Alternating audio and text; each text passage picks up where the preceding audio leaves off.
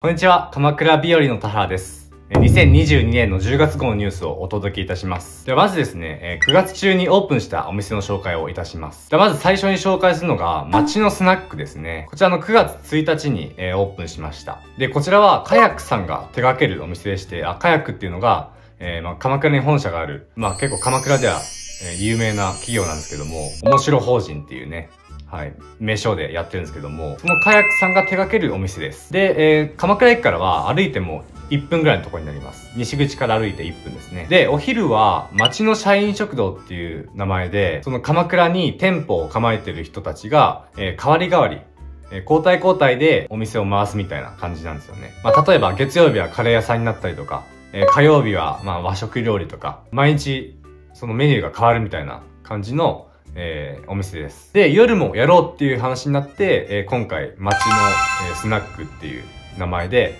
えーやることになりました。で、その街のスナックのコンセプトは、まあ、街の社員食堂と同じで、鎌倉に関心がある人なら、誰でもそのお店に立てるっていう感じのお店なんですよね。誰でもマスターとかママになれるっていうようなスナックのえーお店です。例えば、なんか鎌倉で普通にお店やってる人とか、あと普通に鎌倉市に住んでる、まあ主婦の方とかが普通にお店に立てるっていうコンセプトです。で、なので、まあ私もちょっと登録してみました。そうで、私が働く日ももう決まってまして、1回目が10月7日金曜日の19時から23時。これが一発目です。で、2回目が18日火曜日の19時から23時ですね。まあ、まだあのマスター、あのメインではないんですけども、まあサポート役として働きます。なのでちょっとあの気になる方いらっしゃいましたら、その日に合わせて、はい。えーご来店ください。いや本当に久しぶりの飲食の仕事しますね。あの、大学生のまあ、居酒屋以来ですね、6年ぶりぐらいに働くので、すごい楽しみです。で、結構ね、繁盛してるんですよね。まあ、いい、いいことなんですけど、この前、1週間前ぐらいに私も行ったんですけど、その時行った時、もう、本当に埋まってましたね。満席でした。ですので、多分、まあ、予約できるのかな？まあ、予約はわかんないですけども、ちょっとね、うん。早めに行った方がいいのかな。はい。で、あと、えっと、まあ、スナックっていう名前なんですけども、あの、経営飲食の、えー営業許可しか出してないんですよね。なので、あの、風俗営業許可は出してないんですよね。これはどういうことなのかっていうと、お客さんの隣で、えー接客したりとかできないんですよね。なので、まあ、あの、ホストとか、まあそういうキャバクラみたいな、あの、営業はできないっていう感じなんですよね。ですので、あの、カウンター席に座っていれば、その方たちとは喋れるみたいな感じなんですよね。ですので、まあ、私と、あの、おしゃべりしたい人がいいらっしゃいましたら、あの、カウンター席でお願いします。まあ、あとちょっとあの、私が働く日が、まあ、変動する可能性は、まあ、あるかもしれないんで、なんか、街のスナックで、あの、ネットで検索すれば、なんか出勤表とか、あの、書いてありますので、そちらで、あの、私の名前とか確認してください。はい。で、続いてのお店がですね、えーおなりカプセルですね。で、こちら、あの、おなり通りにございまして、鎌倉駅からは歩いて、まあ5分くらいですかね。で、このカプセル屋さんも、あの、カヤックさんが手掛けてるお店なんですよね。カヤックさんいろいろ手掛けてすごいですよね。で、なんかカプセルってなんか今すごい流行ってますよね。なんか東京とかチラッと行くと、なんか駅構内にカプセルが、あの、ガチャガチャがすごい置いてあったりとか、するので、まあ、うん、儲かるんですかね。あと、鎌倉にあるカプセル屋さん？カプセル屋さんですよ。ガチャガチャ屋さんですかね。ガチャガチャ屋さんは、小町通りにもありますよね。なんか、2階にね、できましたよね。私も最近行ったんですけど、うん、なんか、ガチャガチャすごい流行ってるなって思いましたね。そうで、おなりカプセルではちょっと買わなかったんですけど、あの、小町通りの方のところで行って、ガチャを回しました。はい。まあ、こんなものを、あの、ゲットできたんですけど。まあ、面白い、面白いですよね。はい。で、次のお店がですね、大船にある、えー、チチチーズさんですね。父でいいんですかね？ちょっと、ごめんなさい。呼び方が合ってるかわかんないですけど、まあ、森場コーヒーの、あの、地下に新しくできました。で、このお店は、あの、自家製チーズ工房付きのイタリアンレストランですね。なんか、ピザ窯も本格的なのありますし、はい。で、私も行ってきたんですけども、結構みんなね、絶賛してますよね、このお店。料理も美味しいし、雰囲気もいいし、あと店内は広めなのでね、女子会とかにもいいと思いますね。で、私はあの、まあ、スパークリングワイン飲んで、あとワイン、白ワイン飲んで、であとチーズを頼みましたね。で、あとは、えっと、白レバー頼みましたね。で、友達がすごいね、あの、白レバーめちゃくちゃ欲しいから行ってみてみたいな。言ってくれたんですけど、ちょっと私はね、レバー嫌いだったんですよね なんか嫌いな人でも食べられるみたいな言ってたんですけど、正直ね、うん。やっぱレバー自体が嫌いでしたね。私のことはどうでもいいですけど。で、次のお店がですね、バン鎌倉ですね。で、こちらのお店は鶴岡八幡宮から徒歩1分のところに新しくできたイギリスのアンティーク博物館だそうです。ちょっと私も行ってないんですけど、で、この建物がすごくて、あの、世界的に有名な、あ熊健吾さんが手掛けたそうなんですよね。で、建物は1階から4階まであるそうで、なんかシャーロット・ホームズの部屋みたいなのもあるそうですね。なんかシャーロット・ホームズは小学生の時結構読みましたけどね。ちょっと行ってみたいかもしれないですね。で、続いてのお店がですね、ラーメン三代目おかわりさんですね。まあ、こちらのお店は、えっと、鎌倉駅、えー、東口から徒歩1分ぐらいのところになります。カトレアビルの1階の奥になりますね。で、目玉商品が、えー、鶏白湯ラーメンですかね。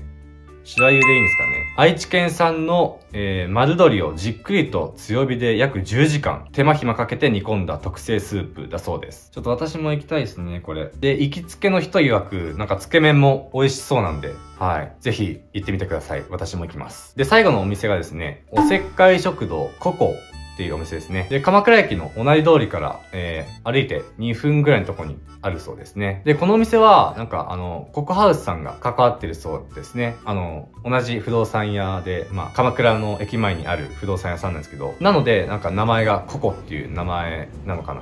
多分。